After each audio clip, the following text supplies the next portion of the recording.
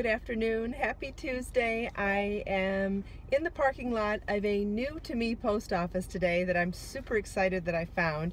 Uh, I was running around to different stores this morning looking for supplies for shipping and because I'd run out of some things anyway and I did a GPS search on post offices and I found one that is really close to where I picked my son up from tennis has a drop off of 5 p.m. every day and is going to save me upwards of 40 minutes sometimes in my daily driving of to and from tennis and to and from the post office. So really excited about that. This is my second time here today.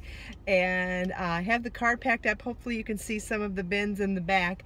I have the car packed up for tonight. Tonight's my uh, uh, Tuesday night knitting and crochet club and I like to bring sample garments and projects to show people what they could do with my yarns or what kind of techniques they might like to learn because I always offer free classes and free lessons at the knitting club and I also bring samples of all my yarns for anybody who's interested in seeing the colors in person. So uh, I always pack up my car with a lot of things and the more yarns that I come out with, the more boxes I have to pack in the car, but that's okay. It's uh, kind of like having a little store and having a little classroom and we just happen to do it at our local Panera. But something that I wanted to share with you today is something that came across my radar last week, and I have to say, it changed my life. And, you know, I really pride myself on being a good person, and as a mother, I share with my child that I make the choice to be a good person when I get up every day. It's a choice that we all have to make. We could wake up and decide to be anything we want to be, including being nice or being kind or whatever we choose to be. And, you know, I still have hard days and I still have days when I'm not proud of the way I behave for the entire day. Whether it's getting mad at my son because he didn't do his homework the way I wanted him to do it or whatever. So I read this meme and forgive me, I don't have an author to uh, give credit to because it did not come with an author, but I want to read this to you. It's called Check Yourself. Sometimes you are the toxic person. Sometimes you are the mean, negative person you've been looking to push away.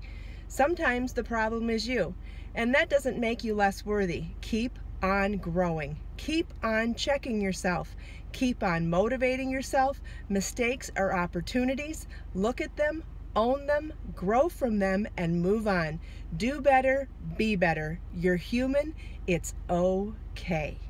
And I found so much liberation and empowerment in this quote because to me, it meant that, you know what, you wake up every day and yes, there are things that get in your way, but what was that mission at the beginning of the day?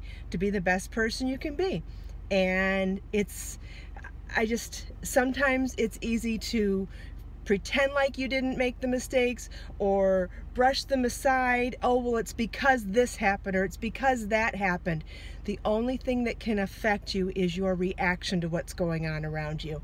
And reading this reminded me that it's okay that I let things affect me, but it means that it's just a nice reminder to get back to what my mission and goal is when I wake up first thing in the morning. So some of you may not like this quote, and that's okay. And some of you might find it. Ambivalent and maybe a couple of you might find it just as empowering as I did and I thought on the off chance that I could share it with someone who might need a game changer as well. There it is. Check yourself. Anyway hope you have a wonderful day. Hope you find time to knit and crochet today and do something creative and always remember to love yourself. Talk to you later